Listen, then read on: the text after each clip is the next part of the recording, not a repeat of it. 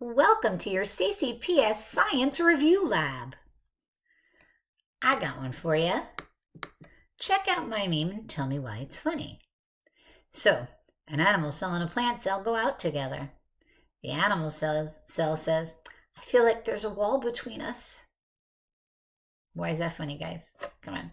Emotional wall, cell wall, get it? anyway, obviously today we're talking about plant cells and animal cells. I want to talk about some of the differences as well as some of the similarities. If we look at the two cells right away, you can see that they both have a nucleus. So we would consider that a similarity. Looking at the shapes of these cells, you can see that the plant cell has this nice rigid sort of rectangle thing going on, whereas an animal cell is more of a circular sort of blobbish shape.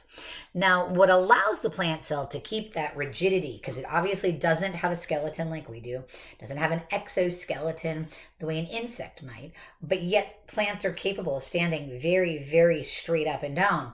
What gives them that ability is this plant, is this um cell wall that goes around each cell. So it allows those cells to stack on top of each other and next to each other in a very orderly fashion.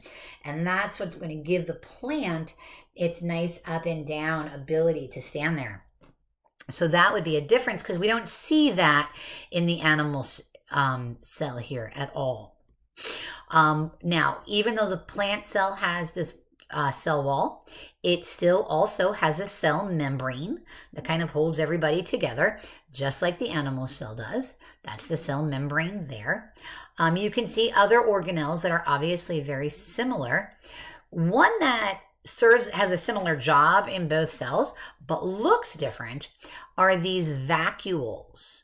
Okay, think of them almost like little storage bubbles. Okay, those vacuoles can hold food or they can surround and contain waste.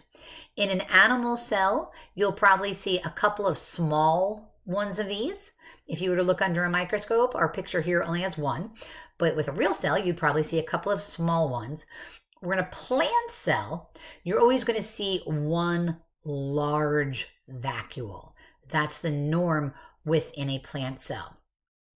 Now, there's another part of both of these cells that are you can't really see in our picture. Okay, but it's the part that sort of makes everything else work. And that's something called cytoplasm. Think of cytoplasm as like a jelly sort of liquid within each cell that all of the other organelles float around in. So if there wasn't any cytoplasm in there, all those organelles would be sort of stuck in one spot and they wouldn't be able to move around and do the, their jobs appropriately. So that cytoplasm is crucial, crucial, crucial for both types of cells to exist. Okay. So when you're thinking about cells, I want you to think about the one of the big differences being that the plant cell has a cell wall and the animal cell does not. And one of the big similarities is that both cells share or have cytoplasm. So I want you to show what you know. I want you to look at this picture.